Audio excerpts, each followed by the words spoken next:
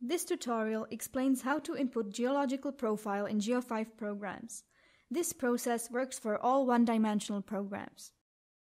The first step is to open up the frame profile. Here we can add arbitrary number of profile layers. Simply click on Add and input the coordinates of each profile. You can easily change the dimensions just by clicking on them and changing the value. The next step is to define the soils. Open up the corresponding frame and click on Add. Here we have two options to proceed. First and recommended option is to input all the data manually. These data should correspond with the geological survey you should have conducted. You can select a pattern and color for your soil and then click Add. The second way is to use the built-in soil database.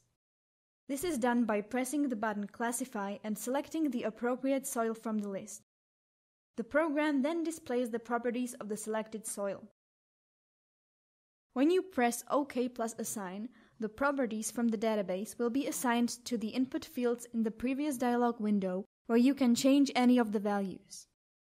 When all the soils are put in, it is now time to assign the soils to the profile.